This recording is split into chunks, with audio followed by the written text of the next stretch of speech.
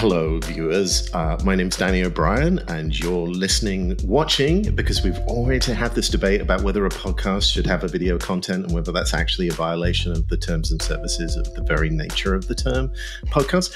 Um, but you're doing whatever you're doing to DWeb Decoded, uh, which is our regular look here at the Filecoin Foundation into the ins and outs and the befores and afters of decentralizing or re decentralizing the web.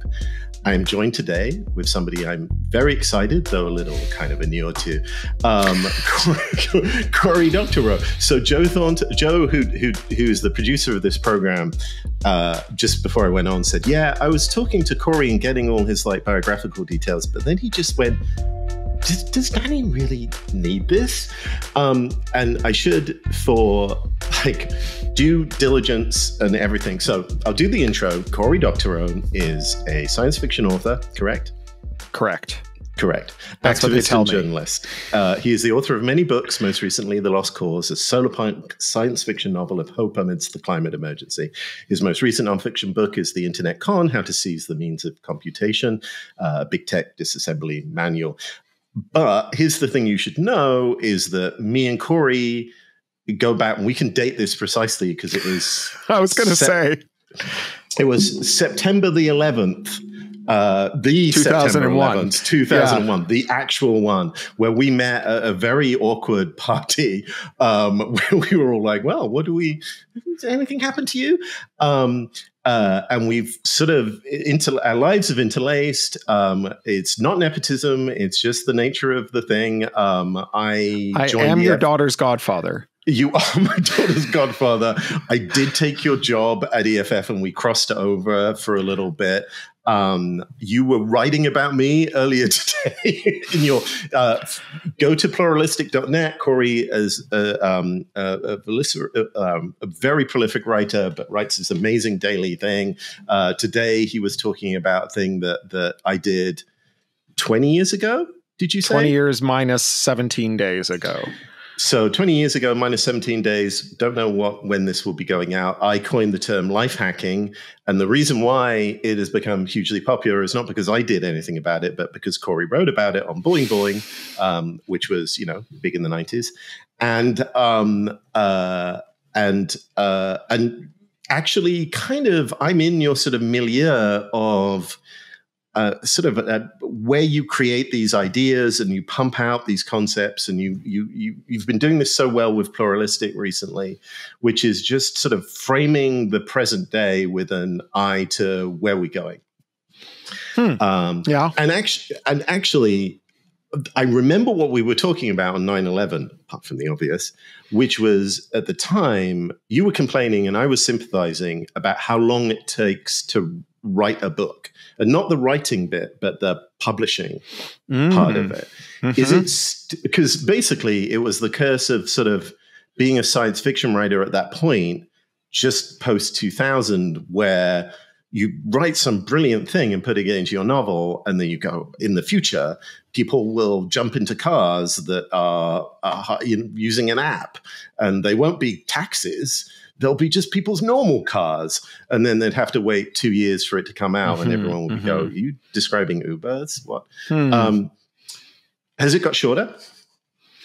Uh, publishing has just gotten weirder. Uh, so s- since um, I almost said since 9-11, but of course since the pandemic, since the other great the other, rupture the, with history, right. uh, the timelines are either incredibly short or incredibly long and everything either uh, works like at incredible breakneck speed or there are huge delays. So, for example, the Internet Con published on Labor Day because my British publisher was like, I'm sure it'll be fine promoting your book in America on Labor Day. There's there's no reason not to bring it out then. Um, but it became a bestseller and sold out the whole print run by the end of September. But then they couldn't print more until the end of October. Right. because there are huge supply chain problems and all of the printers are booked well in advance. This is like getting more uh, um, low power silicon for your Toyota, right? And and just having like a you know these cars that people want to buy sitting on the lot that just don't have any chips in them, except it's orders for books that there are no dead trees for. So there's there's it's it's a little bit of everything in terms of like whether the future comes faster. I've gotten a lot less uh, precious about whether or not I'm writing about the future, or, you know, whether I'm inventing the future. The, a whole bunch of writers since then, Neal Stephenson, but also particularly William Gibson uh, with the pattern recognition books, did so well commenting on the recent past as though it was the future, and really made the point so clearly that what is, what science fiction is is a way of talking about technology and that sometimes involves technological speculation but it isn't speculation itself like right. the the you know in the future you know we will shave the latency of a certain networking process by a certain number of microseconds it, it doesn't matter if you write about that eh, after it's happened, before it's happened, right. if it never happens, you're you're thinking about what what's gonna happen if that happens and how right. it relates to today. Right. And also the space of things that can happen and probably won't. Like I think when we were both at EFF, the bit that I found really interesting was you've got this incredibly slow moving thing, which is the the the gears of law and you have this relatively fast moving thing that's going to be changing things and you have to go okay where are these two things going to collide in like 5 years time mm-hmm. like by the time we have like a court decision about spam where will spam be and mm-hmm. like where can we like what are the things that we we we have to worry about like i remember the first day when we coincided you wrote on the internal all at EFF.org, a really sterling kind of description of whether um, email addresses were public information or not. Mm. Because people were trying to work out whether it was whether we should obfuscate email addresses on the website because we were getting a lot of spam, mm-hmm. and it, it, for everybody else, you're just like, oh no, just do it or whatever. But there's like all these things that connect to it. There's like the legal side of it, like you know, email addresses, are they personal identifying information? There's also, though, that part like, I think no one shares their email addresses, right? Like, no one publicly puts their email addresses up. And it's probably just a cultural thing now, right? It's probably that people just don't do it. Mm-hmm. It's also that major social media websites don't want you to put up your email address. Sure because then you could just email them and say, you know, not go through the LinkedIn contact page or something like that. And there's all these like little subtleties and changes that go through as people's relationship with technology changes. I should get back onto the general topic. I, I mean, just to put a, a dot on that, I uh, I've had a public email address since the early 1990s, and it hasn't changed and um, Doctorow at craphound. craphound.com for spammers yeah. wishing to send it. Yeah, I mean, it's, I got pretty good filtering and pr- practices and stuff. I'm not all that worried about it, but uh, you know, I got an I got a, a DM on the Bad Place this morning from uh, someone from the Dean campaign days, the Netroots days, saying there's someone I really want to introduce you to. What's your email address? And I'm like, you've had my email address literally since Howard Dean was running for president. Like, what do you think my email address is? Uh, uh, but and in that way, you know, it's that thing that the the as in the beginning of the Lord of the Rings, right? Some things that should not have been lost were forgotten, right? Mm-hmm. And it's mm-hmm. not just email addresses; it's the even the possibility that you may be able to directly contact person, somebody without DMing them or going through a social media site or something like that. And I find like that shifting relationship with technology and like what is possible. So part, part of the challenge we always have of the decentralized web kind of movement is people being a little bit skeptical that it's going to work, right? Like uh, as a technical I, matter. uh, as a technical matter and a bit of as a cultural matter, right? So okay. when Mastodon took off um, during the Exodus, right? Um, uh, first of all, someone uh, who I won't mention came up and said, "Okay, I did one day say to you, stop trying to make Mastodon a thing, Danny, and now it's a thing." Um, but also, but also, like people's expectations were all over the place. They were like, "Is this going to be? This is going to be the Twitter killer, right? And this is going to be, you know, this is going to peter out." And I think the correct assessment is it's just kind of it will be a thing, right? It will. It, that is a natural thing to exist in that space, right?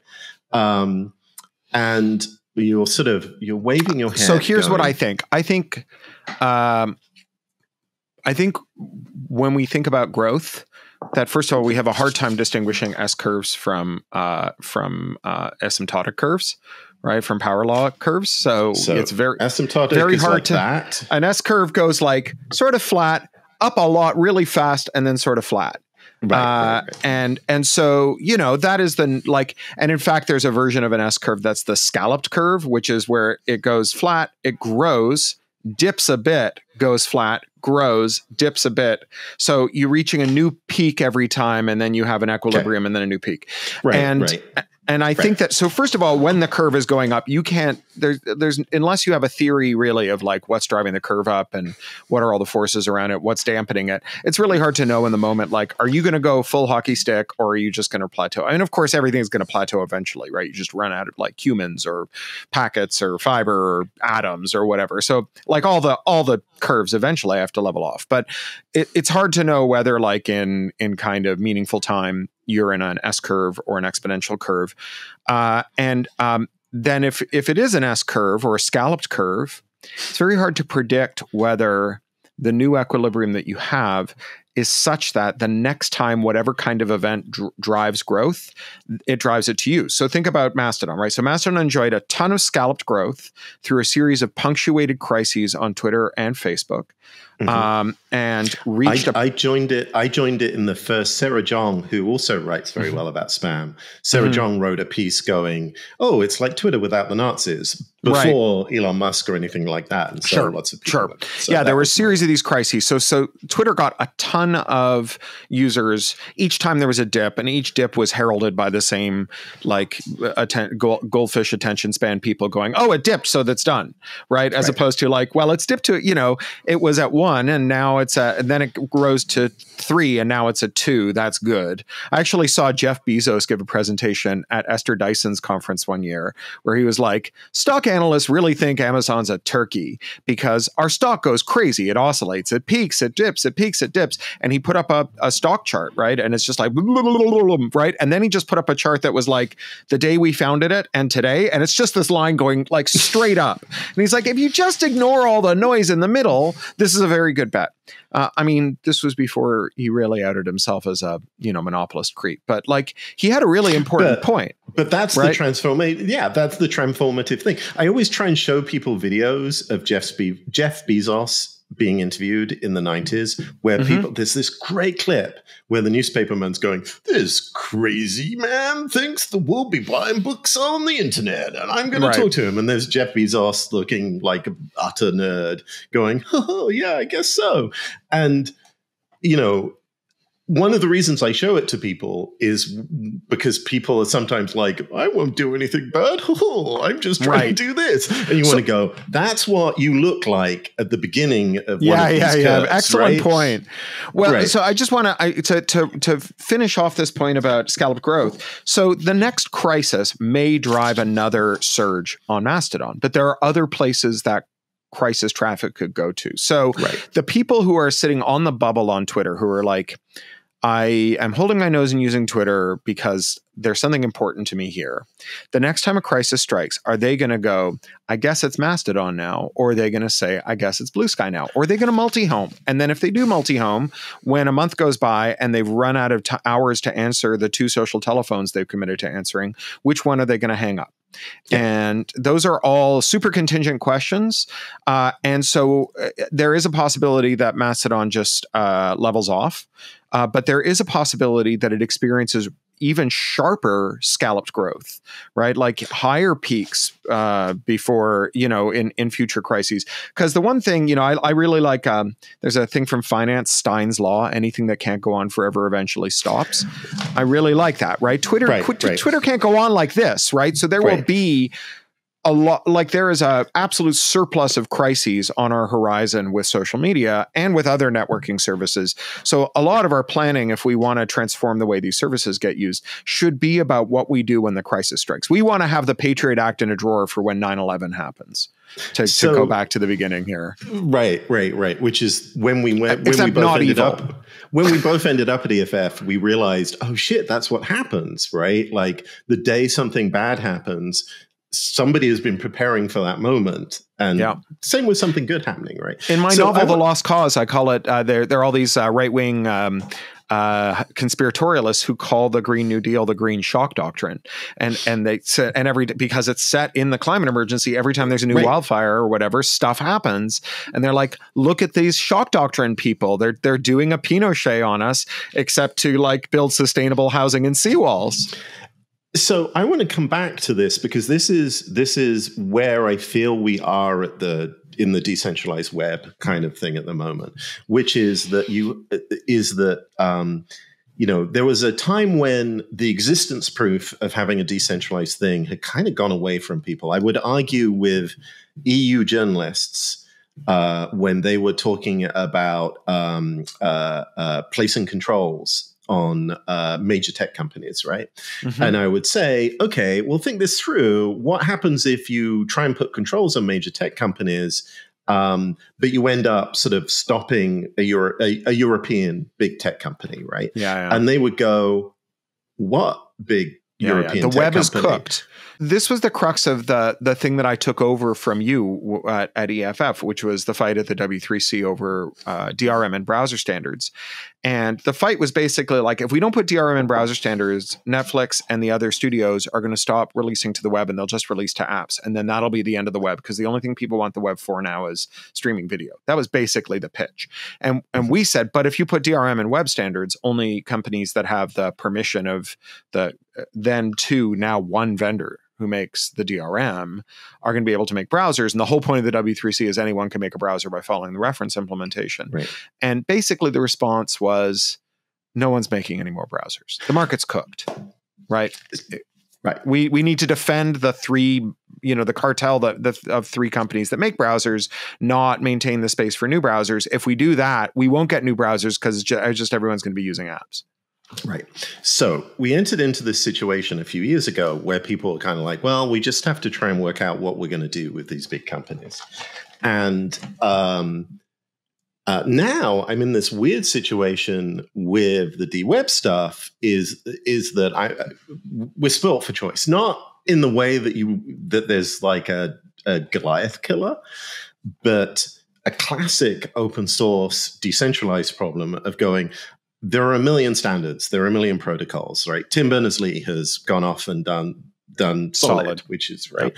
Um, uh, even in the sort of twitter clone kind of environment there's mastodon there's blue sky there's you know, a bunch of other ones. Right.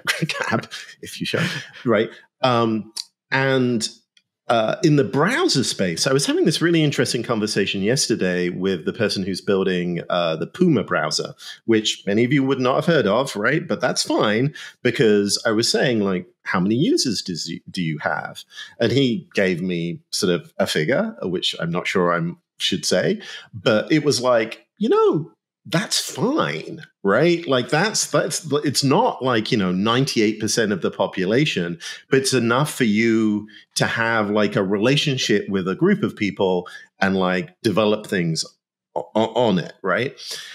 The challenge is is like have people really what do people do in that situation where how do how do culturally you transition from a world where technology is it, uh, completely um, mapped to big trademarks to what I sort of describe as like lowercase technologies, right? Early internet was sort of like there weren't big trademark terms. There was like email and IRC and the web. I mean, there was AOL and, and CompuServe, but sure, yeah. There, there were right, but like they sort of people would seamlessly move between these things, um, and I don't quite know what that looks like in the modern era, right? Hmm. Um, uh, partly because sort of people have more invested, right? One of the things Tim Berners Lee's trying to solve solve for is like, okay, we put every, we put my satchel of my life in this, mm-hmm. and then I move it around. Mm-hmm. I'm not mm-hmm. uh, like I'm not sure that people are super like. There's a comfort to having these big zaibatsus. Um, uh, you know, you you you have this sort of strange relationship with them um, hmm. that parasocial relationship. Like people do have them as totemistic, like Jeff Bezos, and sometimes I'm mad at I'm Jeff an Bezos. Apple user, so I'm a member of an oppressed ethnic minority. I get, I know, yeah. I'm, I mean, so he, I, I, I think that there, like, as a first approximation, that's true, but there's some really chewy nuance that is missing from that analysis.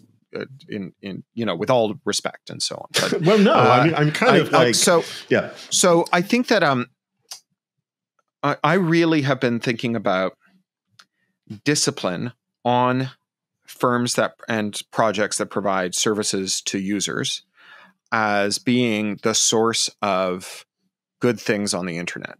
So things that stop so everyone is fallible. Everyone gets angry. You and I met at a party from a guy who got angry at me and shut down my server one day because he didn't think I'd said thank you enough and just mm-hmm. disappeared mm-hmm. and never spoke to me again. Mm-hmm. Um, so people get angry, they lose their they lose their uh, equilibrium. They I got um, angry in a group chat last week, and I'd like to just apologize here. Sure, That's, that was very people also order. just they rationalize their way into bad decisions. Right? They're like, I started this project to help people and I convinced 150 of my friends to quit their jobs to come work with me at this project. And now my investors are saying that if I don't compromise in a way that's going to harm those people and the the people I started the project to help, uh, they're going to fire all those 150 people I right. hired and I won't live to fight another day and fix the harm. So I'm going to enact a harm upon all my users in order to live to fight another day and spare the people who really put it all on the line for my vision, right? So that's a like these are like recurring motifs where people make mistakes. They also like just sometimes are greedy or they quit and then someone bad comes in or um you know the market changes or whatever right people people without discipline without some force that disciplines them, do bad things. Yes, yes, and right. I think one of those, all of those things happen, even if you are extremely ethical, or even because yeah, you're 100%. extremely ethical. Yeah. Right? and also the institutional organization. Like there was a phase where people went, you know, it's corporations that are bad, so I'm going to set up a public Right, a public benefit company. I mean, look public at what benefit. just happened with Ello, right? Where they set up a public benefit company right. and then secretly sold the assets of the public benefit company to a for-profit. right, and same with same with OpenAI, right? Like right. I was in. Sure. I don't know whether I've idly boasted about this on the podcast before, but there was we did a paper, we did a, a, an article which was basically saying about OpenAI you have to share your data. This was when they published the first GPT hmm. paper. Mm. And they were like, it's too scary. Like, we have this model and we're going to show you what it does, but we're not going to share it with anyone. And they were talking through quite seriously, like how they would deal with this. And then at some point, they went, you know what we're going to do? We're going to have, we're going to gateway it, gate it with an AI, uh, uh, an API, and then you'll have to log in with us and then you can use it. And half the room were like, oh, yeah, that's smart. So that everyone using it for evil, disinformation, you'll see it. And half of us were going, no, that's the poison chalice because as soon as you have that control, you are never going to see that. It's control. a moral hazard. Yeah. Right. Sure. Right. Right. right. Sure. So, so um, I think that there are four constraints that act on firms and, and more broadly projects, but especially firms. So the first one obviously is competition right people if if if being bad to someone means that they go to someone else and you stop making money from them, that is a thing that can stay your hand. Can can I just generalize this out? Because I know you said the firms, but like because so many of people in the decentralized web community have all of these different ways of thinking about organizing, mm-hmm. uh, you know, well, that's why I said projects too. Yeah, yeah, exactly. But sure. I, I, and the, just, the, other thing I don't about want these people cons- to think that this is something that happens just about com- for-profit entities. Right? Yeah, yeah, yeah, The other thing about these constraints is that they are also all remedies, right? So right. if competition fails to constrain the worst impulse of someone within a firm or a project, then the people who are harmed by it get to go somewhere else. Right. So it is both a constraint and a remedy, right? So th- the second constraint is is regulation, right? The the um, expectation that the funds that you will derive from cheating are less than the funds that you will be charged for cheating, right? right. And that and do whatever time value money discounting you want. We're going to make a billion dollars today. We're going to get fined three billion dollars in ten years. By that point, I will have retired, and so right. it doesn't matter, right? But whatever. There's some there's some uh, you know minatory effect. It's a it's a it's a deterrent, right? This the the regulation. Mm-hmm the third one, and th- and those two are just generalizable, not just to for profit and you know nonprofit projects, yeah, but also tech and not tech. Right. This is right. this is true of like you know companies that make popcorn or shoes right. or like not run murdering daycares. people in the right. pursuit yeah, of whatever. something good. Yeah. Right. Yeah. yeah, yeah. And then, but then there's two very tech related constraints. So the first one, I've been calling it self help with a nerdy audience. You can call it adversarial interoperability, right? And so, like the kind of um, short version of that is. Uh, uh, all right, uh, time for the weekly product meeting. Uh, I know we've all got these KPIs to hit. We all need to boost revenue. I've done the calculations, and I think we make the ads 25% more obnoxious. We boost gross revenues by 2%. No brainer, right? Everybody gets a six figure bonus. Someone at the table goes, wait a second. I've done some user research. You make those ads 25% more obnoxious, and 25% of our users are going to type into a search engine, how do I block the ads? And then our expected revenue from that user it doesn't stay static at 100% of current levels. It goes to zero forever right? The minute you make someone so irritated that they type into a search box how do i make this go away? Where's the alternative client for facebook? then uh, we lose all revenue from that person forever. And then the fourth one is workers because historically tech workers enjoyed an enormous amount of bargaining power, even though they weren't unionized. Terrible union right. density, but um, you could always get a job somewhere else and that meant that, that it's this very curious kind of ethnographic phenomenon where you could quit so your boss treats you well. But your boss treats you well in this highly specific way where they make like a kindergarten for you with like a gym and like gourmet snacks and massages. And and then they tell you you're on a mission and you work every hour that god sends and you don't go to the dentist or the doctor. You miss your kids little league game. You miss your mother's funeral and you ship because you're on a mission, right? So um, that means that when your boss says, Hey, Danny, it's time for you to enshittify the app that you built for us, you feel this profound sense of moral injury. Right. I did not miss my my mother's funeral to eke out three basis points by putting Burger King logos all over this goddamn Google map. Right. right. And you you you say, I won't do it, and you quit. And if you do quit, they can't find someone else. So right. all of those constraints are gone. This is all by way of saying all of those constraints are gone. So, um, competition, we allowed merger to monopoly. You have companies like Google that have made one in house product and then oh, bought everything else.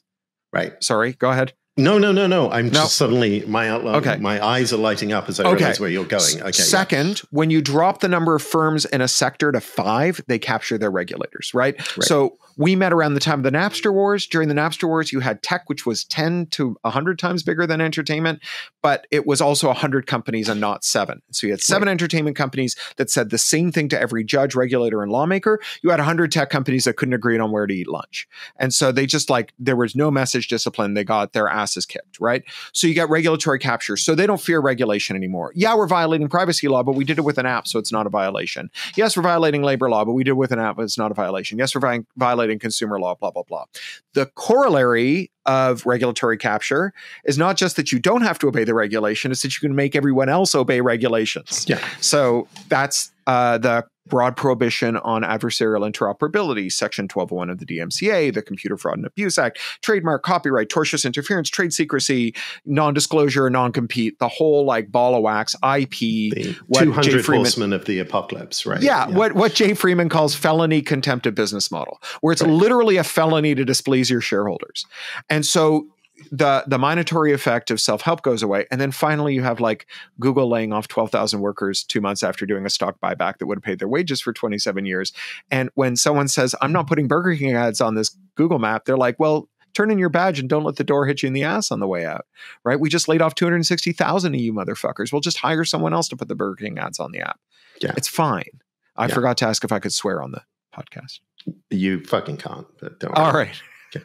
so, Um, so- my point is that if you want to build a new social network or a new thing, historically, the thing that was tech superpower was that self-help side and the competition side. So the self-help side said that if you were if, if you had customers who were super invested in silicon graphics, right? And you were Sun Microsystems. So you had the world's sexiest workstations and you were, had the world's beigest workstations, like squarest, beigest. You most should look it up. People who are watching Yeah. this, they had Just- they, just- they yeah. were pretty. They were they were purplish. Anyway, yeah. Well, there were all kinds of colors, and they were like they had basically come along at a moment in which there was a step change in injection molding, and it's like, oh, our cases don't have to be rectangles anymore. Our cases are now going to be every shape that God sent, right? Like they were they were super dope. So, um, you know, if your son and all and you want to steal customers from SGI, you say to them, like, here's the app that moves your data over. Here's the runtime that runs your code. Here's the reverse engineered interoperable whatever, right? So that yeah, you've got like your ethnic identity as an SGI user, and SGI users are the Mac users of Unix, right? Um, but you, then you need to get something done. Money talks. That's the pull quote, by the way, Joe. Anyway, okay, yeah. Yeah. so so um, then you've got to then you've got to get you know you've got to you you you you you need to get something done and, and Sun can do it for you, right? You got to do something big and powerful, uh, and you just you need a lot of flops, and they're cheaper from Sun than they are from SGI, and so you just buy some Sun workstations and they just work right you just like make it work in the same way that like so I, a story i tell a lot that you can probably relate to because it deals with the time around the time we met, uh, the late '90s. I was a CIO for hire, uh, and I did a lot of integrations and stuff. And um, we would have these shops that would be all PC except for like the designer and the CEO. And the designer would have a Quadra that ran graphic stuff or a Power PC, and the CEO would have a PowerBook. And um, Microsoft Office was the most cursed piece of software Microsoft had ever made if you were running it on a Mac. Yeah. All you had to do was like wave the installation floppy around and and like docs would would go corrupt. You would Right. send the designer a doc and when they opened it, no one else could open it ever again. And so I started to put dedicated workstations on the desks of my Mac users just to read Word files. And then it was like, oh, this is stupid. So you put a big graphics card in, you buy Adobe and Quark, you throw away the Mac. How did Apple solve that?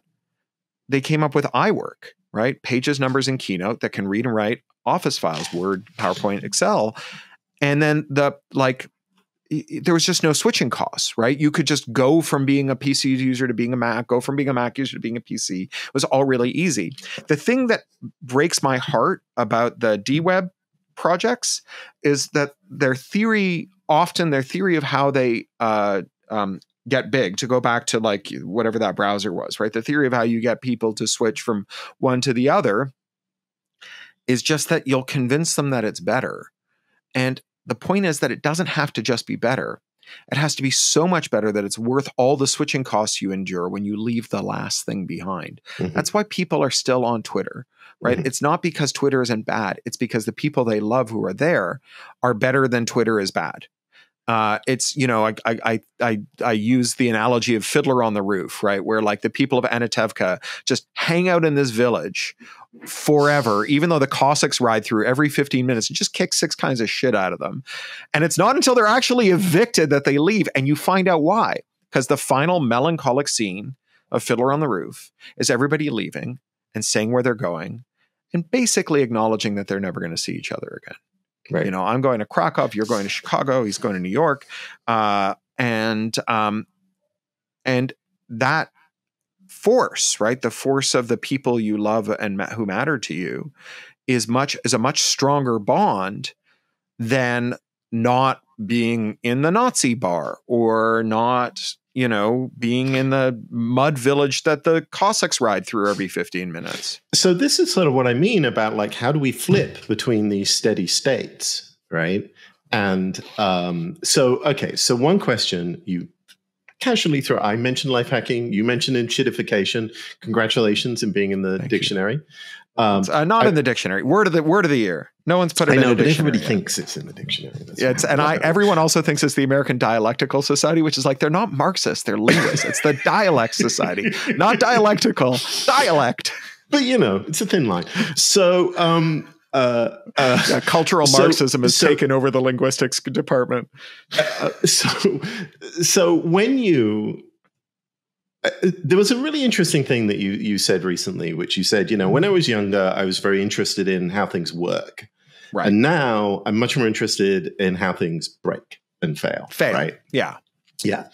Um, and, you know, this is one of those things that like things persist um, until the, until they fail, right? But right. the, the Anything things that that, can't you go see around you, eventually stops. Yeah. right, are things that have simply not failed yet, right? And Yeah. that makes that's a better under gives you a better understanding of where we are as uh, and the technology that we end up with.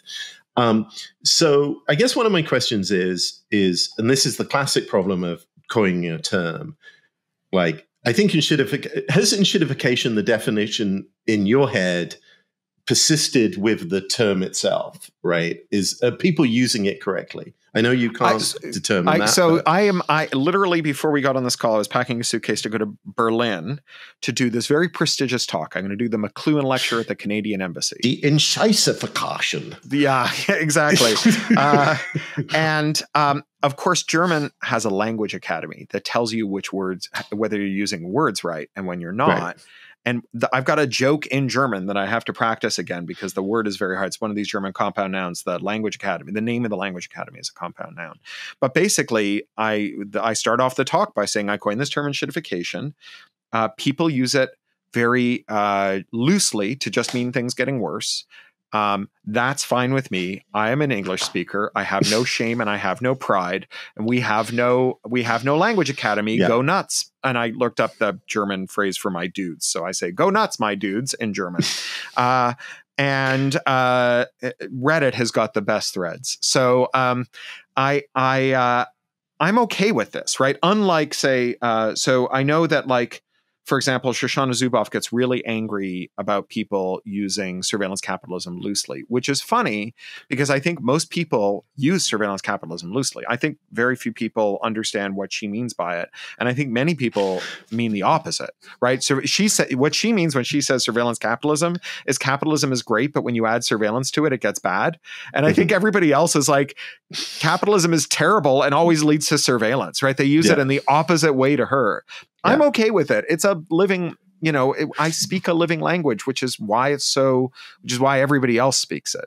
So my question is, is like you've sort of described the scenario where we pull out all of these things from technology and things get worse, right? If we don't have these these constraints or these Yes. releases on it.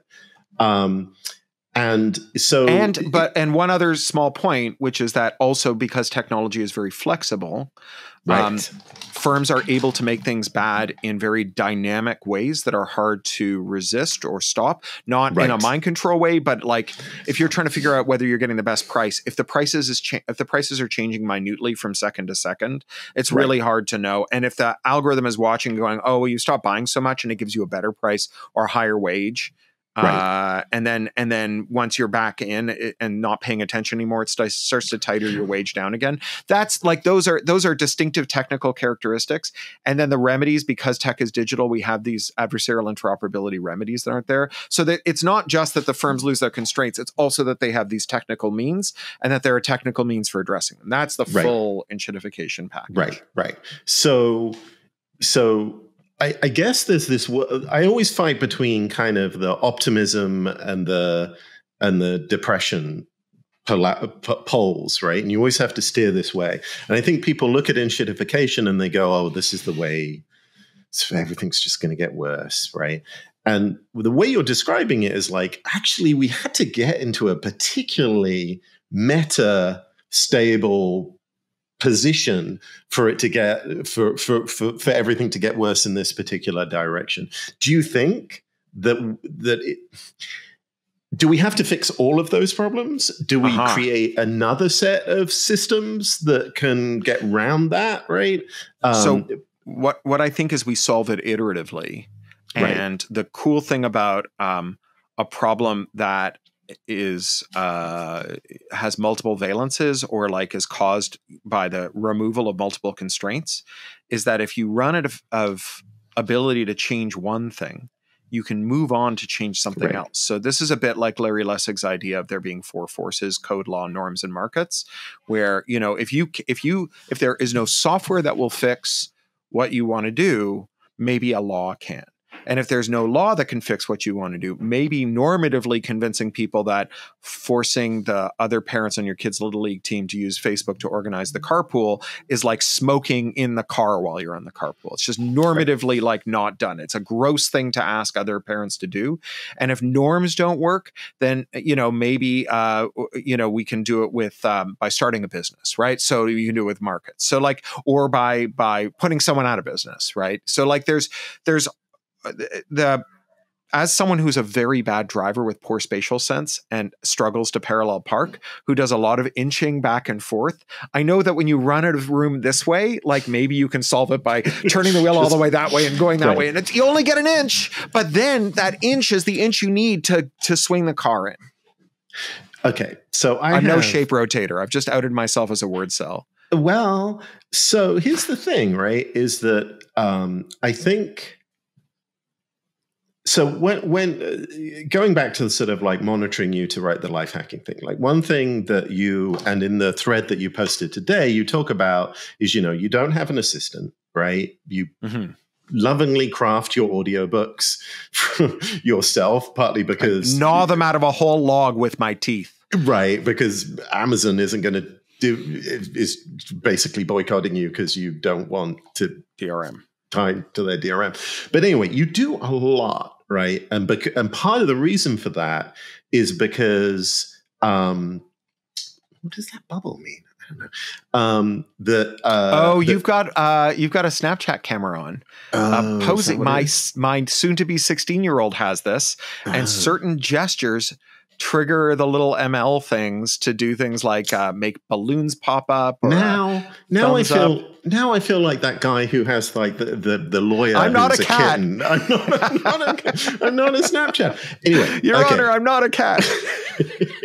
so my point my point here is um, before the ML interrupted that you you you you use technology in this way that I think a lot of the sort of mythos of the personal computer um, that I buy into too, right? Which is like having this general purpose computer enables me to execute on a lot of different things and maintain a kind of control over it, right? Like I'm not ceding this to Jeff Bezos or somewhere else because I am the the master or the mistress of, of my destiny, right? Technological self-determination. Right, right.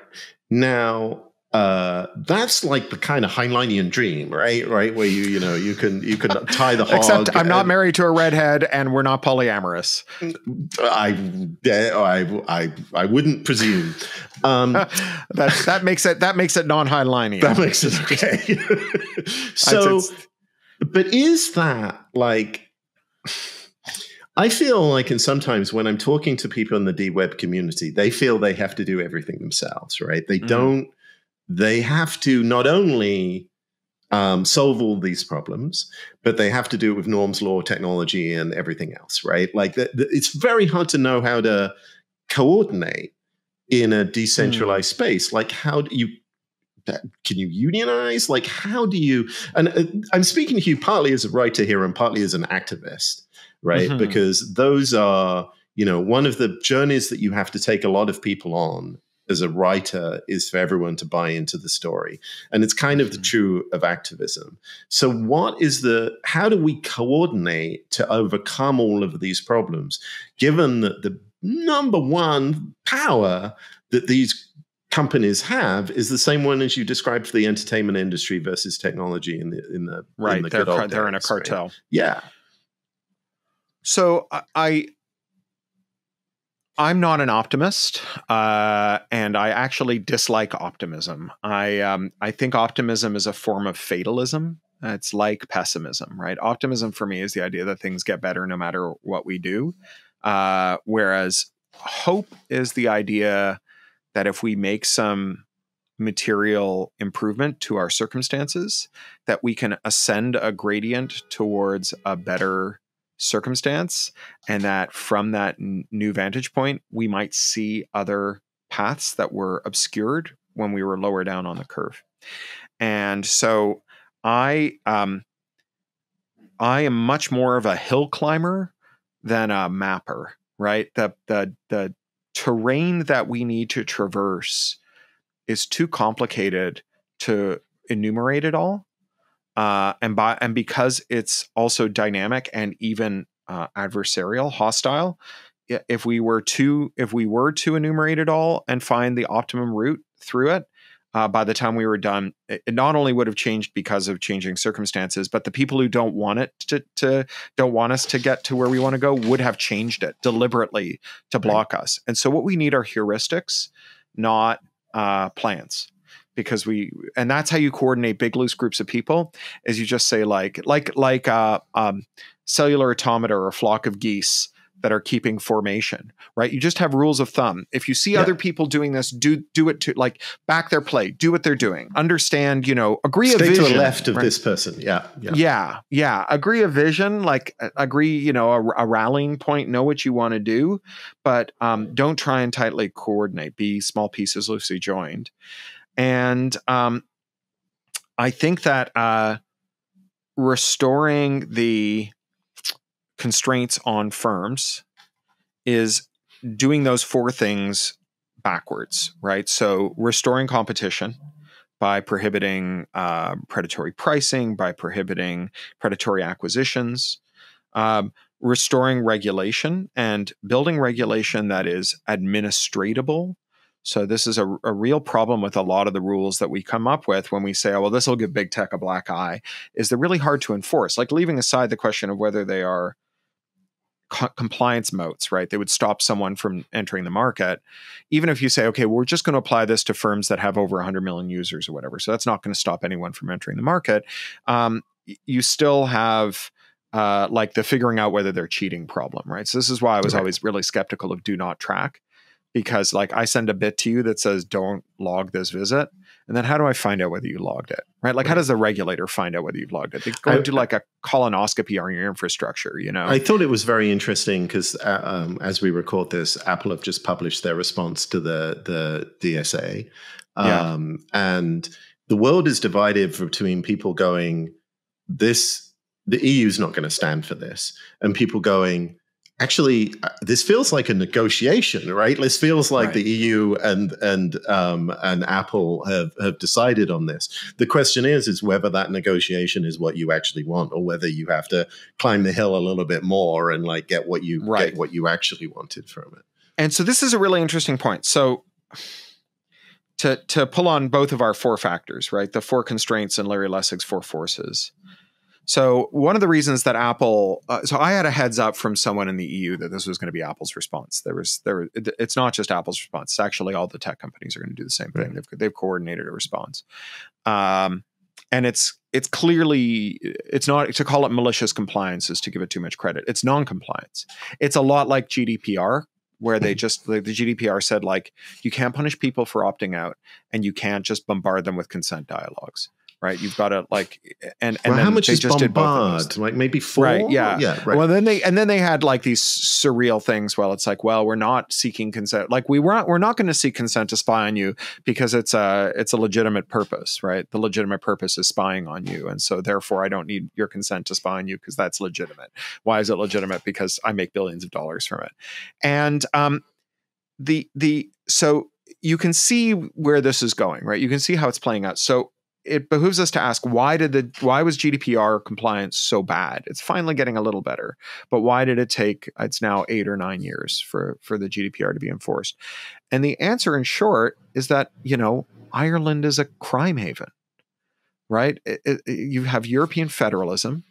Ireland says if you are a company that is large and nimble enough that you can fly a flag of convenience, fly our flag of convenience, and we won't make you pay tax. And then all of the companies that they attract are like, by the way, I don't know if you've noticed this, but we are nimble enough that we can fly any country's flag of convenience. And right over there is Malta, Luxembourg, Cyprus, and sometimes the Netherlands. And if you start enforcing the privacy law, we might become a Maltese company right? And so uh, w- th- once you lie down with dogs, you wake up with fleas. So once Ireland says we are going to be a tax haven, they necessarily become a crime haven. And there are this is like a federalism problem. Like America has this problem with onshore, offshore, with South Dakota and Delaware and so on. America is much more advanced as a federation than Europe, right? It's like 190 years older than the European Federation, whatever, however many years it is. Um, and so it's. Uh, there's a much there are much more clearly delineated lines between state authority and federal authority. In Europe, with the DSA and the DMA, the way that they're trying to address this is they're just saying, okay, well, if you want, your first protocol can be the federal court. So they're just saying, like, I don't care if the company that wronged you is headquartered in Ireland. You can sue them in the in the European court, right? Well, that sounds cool, right? Maybe it would work. I have a an intuition that broadly speaking, it's harder to corrupt the federal court than uh, than the Irish court. However, as someone from Canada, where we've had multiple constitutional crises, Canada is the federation that's sort of dead between the US and the EU in terms of its maturity and in terms of the extent to which people living in different provinces think of themselves as belonging to different nations, right? So, so Europeans really feel like they're in different nations. Most Americans don't feel like they're in different nations. Canadians are sort of meh. And in Canada, it's a lot less meh. I mean, Quebec, it's a lot less meh.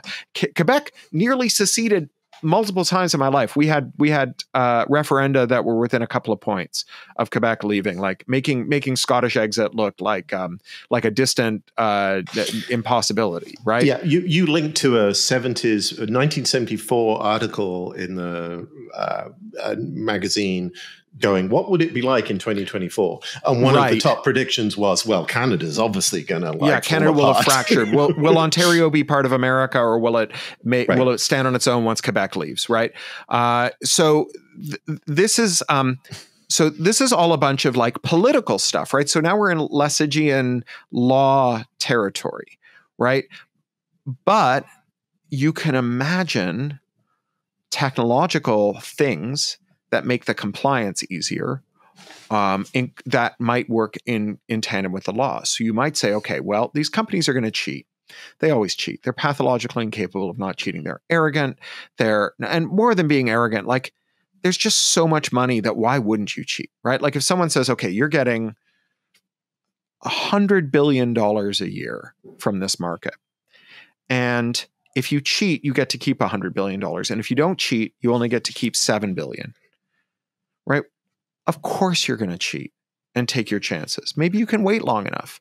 You know, IBM wrote out the US antitrust lawsuit. They spent more than the US government every year for 12 consecutive years. They called it uh, Antitrust Vietnam, right? They spent more on lawyers than the entire Department of Justice.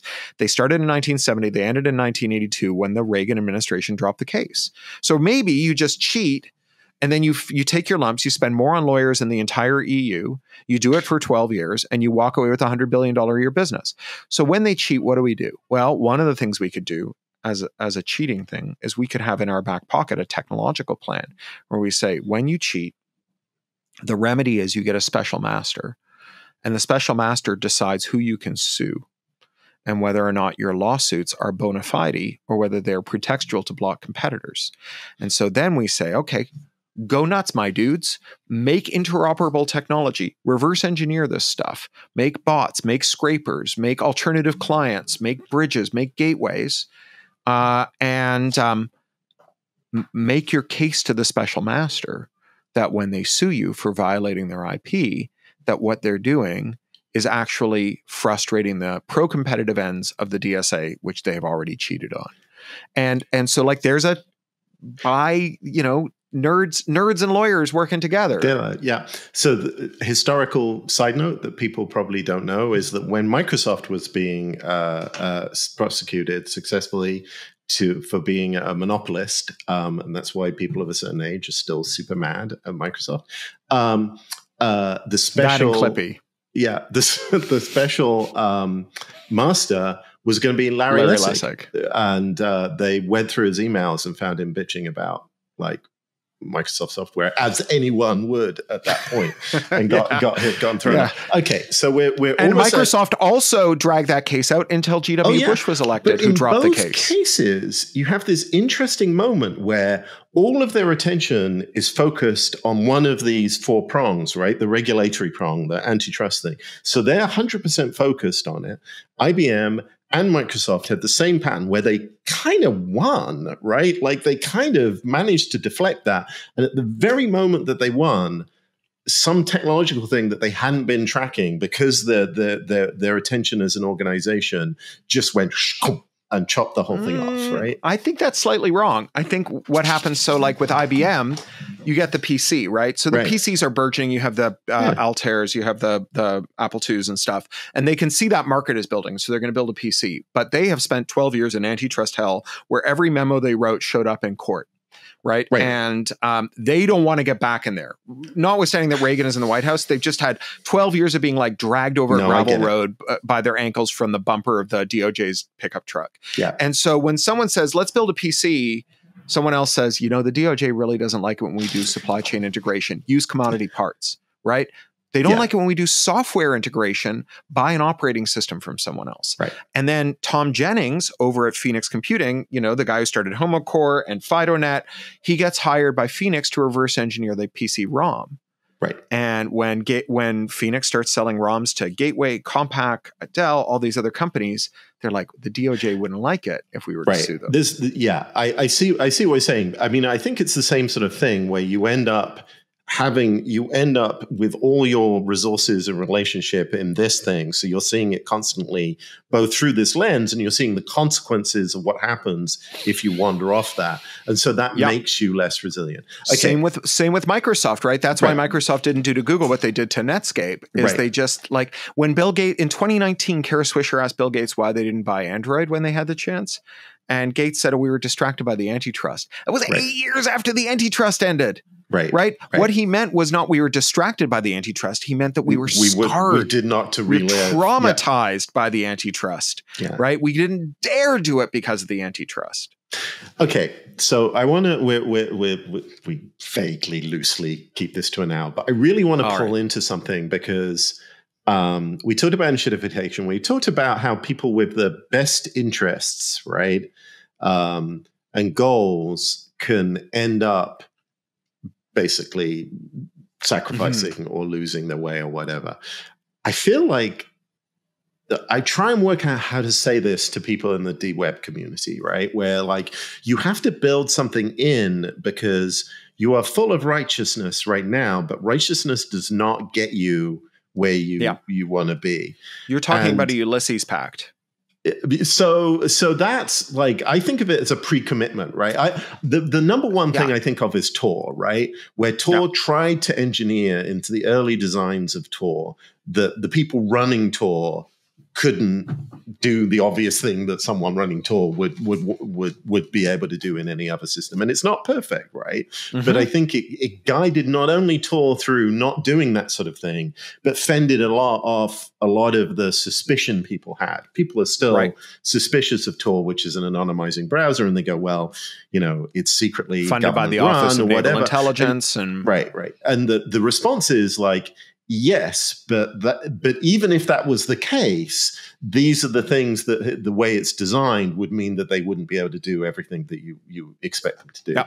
is there something that people can build institutionally culturally regulatorily into technologically technologically yeah. into what we're building now that means a the decentralized web doesn't re re-centralize or doesn't end up being something worse well so the, the um, we've seen, you know, we we talked about how Ello was a public benefit company, and then transferred its assets to a for-profit. Right. Uh, you know, in Canada, the Mountain Equipment Co-op, which is um, uh, consumer co-op, not a worker co-op, but it's the equivalent of REI, one of the most beloved Canadian companies, uh, got taken over by a hedge fund that packed the board. Uh, and basically went private, like shut down the co-op. So there, there are lots of ways that it can go wrong, even when you have those structures. But Ulysses pacts, pre-commitments. This is, you know, comes from Ulysses, the hacker, who was sailing into the sea of the sirens and you know the established protocol for hearing the sound, song of the sirens but not jumping into the sea was to um, stuff your ears with wax but then you didn't get to hear their really cool song. So instead he had his sailors lash him to the mast so that he could hear them but not be not jump into the sea. And you know when you go on a diet you throw away all the oreos. And it's not perfect because you can drive to the 7-eleven but like you give yourself that moment you know more much more seriously um, in debates over gun control and suicide. One of the things that seems to be well supported in the data is that um, the impulse to kill yourself is uh, short-lived and that the harder it is to kill yourself the larger the chances that you won't right? Take away people's guns make them make them uh, plan some elaborate something else and a lot of people who would have killed themselves otherwise seem to not. Um, source code licensing is a form of ulysses pact right? You, when you when you uh, permanently gpl your code it's not re- irrevocable. Um, your investors can't make you make it proprietary and your users get a remedy right? If you do take it proprietary if you fork it proprietary they can fork a non-proprietary version of it. And in fact uh, when we started this i said i was going to record it with audacity. I'm actually recording it with sneedacity which is a audacity fork uh, be, that was created when audacity's project managers got ta- uh, got bumped out by people who said they're going to put analytics in it. And so it's audacity without the analytics. And you know uh, until pretty recently, I was a pretty ardent Iceweasel user, which is Firefox without the trademark claims. Right. Um, and, and, they're just, it's literally the same code, but without the thing, the bad thing, right? It's, it's just, it's like an ad blocker, except it's a trademark blocker or a, or analytics blocker. It's just, just another thing. It, it lets you take the prix fixe offer and go a la carte. And you have to imagine that for the people who are making these choices about how the product's going to work, even if they are people of ill will, right? Even if you are succeeded by someone of ill will, or if you have a stroke and become someone of ill will, or whatever, um, you will still at least think through the possibility of losing all your users to a fork, right? If yeah. if you if you go if you turn into a wrongin, and if that's not enough, then your users can go, right? So so source code licensing is very big. Uh, yeah, I feel I feel like some of this is about which order you do things too, right? Mm-hmm. Which is like if you build like if you say, "Don't worry, we're going to build this escape route later," right? We're yeah. engineering it. So yeah, we'll open it when route. it's done. Is a way to make sure that you never open it because it's when your business is going down the toilet that your investors are like, "Okay, well, let's figure out how, how much we can sell this for when we liquidate it," and right. that's the exact moment when they're not going to let you open it. Right. Right. right. That's the exact moment when they're going to make you close it. Look, I love my publishers. I love Macmillan, but they make me they made me stop Creative Commons licensing my books in 2017. But they couldn't make me go back and uncreative Commons license the other ones. Right. Because they're their irrevocable license. This is this was the thing people were furious about when CC launched. They said uh, you, people are going to make naive choices; they won't be able to take them back. It's like yes, but then other people will build things with right. the stuff they release and they won't have the rug pulled out from under them because the right. license because the person who made the license decision changed their mind and you don't even know who they are and they don't know who all their downstream licensors are so it's impossible to even know to get notice when the license changes so i think the conclusion here particularly in the d-web sort of space is is like if you're federating federate up front right like like yeah. roll, roll make irrevocable commitments up front and yeah. and so this is one of the interesting things about warrant canaries, for example, is that a warrant canary breaks when you stop doing it. So right. you, you, if every quarter you publish a list of your surveillance requests and then you don't publish any r- report this quarter, the uh, logical assumption for everybody else is to say, uh, okay, something bad is happening there. this actually started with Jessamyn West, who now runs the Flickr Foundation, uh, and Jessamyn was a librarian when the um, Patriot Act passed. And one of the things in the Patriot Act were these sneak and peek warrants. Jessamyn, it's all 9 Jessamyn runs uh, Metafilter, right? maybe she runs that too. That sounds possible. Yep. Okay, I, I, I forget who it passed on to after Matt quit, but Right. um, but it all comes back to 9-11. So after the after the Patriot Act passed, um, they had these sneak and peek warrants where they could come in and they could order you to turn over your records and they wouldn't and you would be prohibited from telling anyone that they'd been there. And so Jessamyn put up a sign in her library that said the FBI has not been here this week. Watch for this sign to go away. And you know, the the there are pre-commitments you can make like these proof of life commitments right? Where you just you have to send a message every week and if you don't send the message then everybody knows something is wrong. There's a there's a hypothetical idea from the cypherpunk world called binary transparency. I don't know if anyone's ever uh, produced it but it's like when everybody who gets a binary for an update automatically the last version that they have the one that fetched the update hashes the new binary and puts the hash on a server or multiple servers all around, maybe in Merkle trees, right? Maybe even in blockchains if you must. Uh, and um, and then everybody else who has just gotten that update and is wondering whether to click it can go, wait a second. 98% of people got this binary and 2% got that binary. Is there a backdoor going out in this one? Right. So, uh, you know, everybody likes the security of building an auto update without user intervention, but very few people think through the insecurity of an auto update functionality without user intervention because that's how you get um, uh, updates that are Right. poisoned, right? So if you and and part of that kind of i guess one of the things of this having this heuristic right is we can move towards that if you're constantly moving towards getting to that point of purity so with with with this it it requires um uh, making replicatable builds, right? Like Yeah. you build the software and it is always built the same. And there's some great projects working on that right now, um, uh, some of which uh, we sort of indirectly support. And um, and you can get to that stage by thinking about how to commit this to to everyone. Yeah, And I think this is under theorized. I think that you know we could do more on the institution side.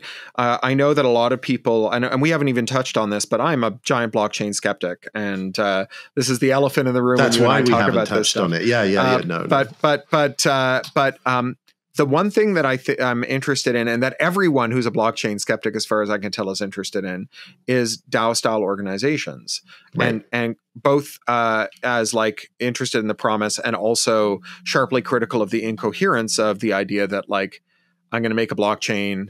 Uh, I'm gonna I'm gonna make a DAO, so I don't have to trust the other people in it. Right. We're gonna raise millions and millions of dollars, and then we're gonna hand it to some guy to go buy a copy of the, the Constitution. It's like, well, if you trust that guy with all the money, why doesn't he just run this whole goddamn thing on his own web server? Right? Why do you need the the stuff? Right? And so like it's um you know the the the safe that is made of impregnable steel on six sides and toilet paper on five sides rather and toilet paper on the sixth is uh does seem like it's five sixths of the way to having a good safe but uh I think that um it would be interesting to spend more time thinking about oracles and you know trusted third parties and all that other stuff certificate institution transparency design. and things like that. I will get those Yeah. people on. I will Yeah. promise. I will get bring Ben Lorion on get Ben Laurie on and ask him about solid because he thinks um he followed all the dependencies on solid and it's like there's it's got like a hundred dependencies and he just went through github on them and like 75 of them are abandonware with like multiple cves and he's like sounds good but uh, and that was a several years ago problem, so i don't know it's, where it's, it's at now. supply side problems of like how do you build that security in? And i will definitely bring some ben is a good one but also this is like the reason why one of the reasons why you get this insecurity in uh, uh, creating decentralized systems over blockchain where the money goes is because we have to firm up and we have to secure everything else right? And you have to Mhm. Get everything to the state where you can you can reliably secure it in the way that centralized companies kind of promise that they can um, Mhm. and have a lot of resources to try and convince you that and also to try and and, make you and feel I guess the last thing I would say is um, uh, the fallback, or rather the or the foundation that all of this lives on is not trustlessness; it's trust and solidarity, right? That that like ultimately there's always going to be some unanticipatable circumstance that you cannot armor against except through, and this is hokey, but love, right? Love and trust, and people who feel an interpersonal connection and who will stick by their principles even when it hurts them because they care about the principle and they care about the people whose lives are at stake and that's the that gets exploited by by financiers right. who say you love your employees so that's why you got to betray the project but it's also you know I, I, we we both know stories from the old internet of the sort of Jon Postel's era where there was just like a person who just everybody trusted because they were trustworthy and they did the right thing and they did the right thing even though no one was paying them to do it you know when when unix was so the reason unix is everywhere the reason sgi and sun had unix is because at&t after their antitrust case or after an earlier antitrust case was not allowed to um, sell software so they had to they had to they had to give it to other people so they developed unix uh, and then they gave it to a bunch of other people to commercialize. So it became a multi-vendor platform. And then the bosses at at AT&T just hated this and they didn't want the people who were maintaining Unix to help these other vendors. And so th- people who worked on Unix outside of Bell Labs would get mysterious phone calls that said, if you go to this park in New Jersey and look behind this rock, you will find a tape with the current patches, right? Because the mission mattered more than the firm, more than yourself, whatever. You you care you cared about and believed in, you know, people people's lives being made better by technology. And so you were going to do what it took, not what your boss wanted them, not what your boss wanted you to do. I think I think there's always a temptation when you're doing these sort of big overstudies that that whether you couch it in terms or not, but like they end up being laws, right? They end up going, well, the, the, this will happen and this will happen, um, like enshittification, right? And like you know, the payoff is it doesn't actually have to happen this way. Like once you've right. observed that this is happening, once you realize, oh, we're going down this this route, and I don't think we actually want to go down this route. Um, there are all kinds of other strategies that you can deploy to to to go somewhere else, but you have to have that. You have to have ultimately that kind of intent. Um, can Can I finish this podcast with a science fiction anecdote? Yes. Okay, so Ada Palmer, who I think you probably know, the brilliant historian, uh, librettist, and science fiction writer, uh, who's a tenured professor of Renaissance history at the University of Chicago, where she teaches about heterodox information, banned information during the Inquisitions in Florence. So, witchcraft, homosexuality, political heresy, religious heresy, and so on. She is famous on the University of Chicago campus for an annual LARP in which her undergraduates elect the Medici's Pope. Uh, and so the students are each given the identity of a real cardinal from a real great family or someone else who is an important personage in the wrangle over the Medici's Pope. Uh, and for four weeks, they form alliances, break alliances, stab each other in the back, stick up for each other, do every imaginable thing. And Ada has um, a Google alert for theater companies that are selling off costumes. So she dresses them all up at the end of the thing, and they go into the big pseudo Gothic cathedral on campus. They they book it out for the day, and they elect the Pope. And every year going in, two of the final four candidates are always the same every single year because the great forces of history bear down on that moment to say that these two people are always going to be in the running right? No matter what, Apple and Google are always going to have an AI product or whatever. They're always going to be like in contention to capture the next market.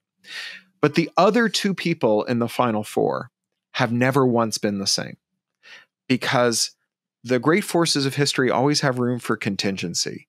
Human agency always plays a role in historic outcomes. Indeed, the great forces of history are just another name for human agency the last time around right? Uh, and um, th- the idea that like we run on immutable social laws that are like a physics of human behavior or social organization is a counsel of despair that grossly overdetermines certain frequent but not inevitable outcomes and does so to the exclusion of other possibilities right? That the the belief that things can't be different is an enormous determinant in whether things end up being different. You know, Margaret Thatcher's "There is no alternative" is not an observation; it's a demand. Stop trying to think of alternatives. So I think that you're right that when the when the moment comes when there's extremists when the chips are down you know it, it's not inevitable that things will go a certain way we have human choices. Contingency exists in every moment. Um, the great forces of history exist too, but they are not inevitabilities. They are merely heavy weights on probabilities. Cory Doctorow, thank you very much. We didn't even do the proper promotional thing. So let me just oh. say you have a million books coming out. I'm really looking forward to the Bezzle. Um, yes, this is going to be my great. prison tech novel. You'll yeah. like it. Yeah. Um, and uh, you also wrote something for us for in DWeb Digest, which I will do yep. a counter plug for, which is a great piece put together by Mike Masnick, and the URL will probably appear down there or something on it. Um, right, it's going to be great to see what you have coming next. Uh, where do people go Thank for the Kickstarter much. for the Bezzle audiobook? Uh, well, unless this goes out in the next few days, they'd probably be too late. But oh, the, what do you want people to do after that? Buy the Bezzle, I uh, guess just buy the Bezzle. Yeah. Okay. Uh, buy the Bezzle or buy buy Red Team Blues. I'm going to be out on tour from February 20th till the end of March um, in lots of places, mostly on the West Coast, but I'm going to have some East Coast dates too. Uh, and I'll be in, um, uh, I'll be in, um, sorry, Turin and uh, Tartu uh, uh, in the spring as well. So if you're in Estonia or Italy, come out and say hello or nearby. Just just European states that begin with vowels. That's right. all I'm doing this year. That's it. That's going to Berlin. To that's Alemannia. You know. Yeah, yeah, yeah. Yeah. Cory, thanks again, um, and uh, thanks for listening in. And uh, join us yeah. at the next DWeb Decoded if you can.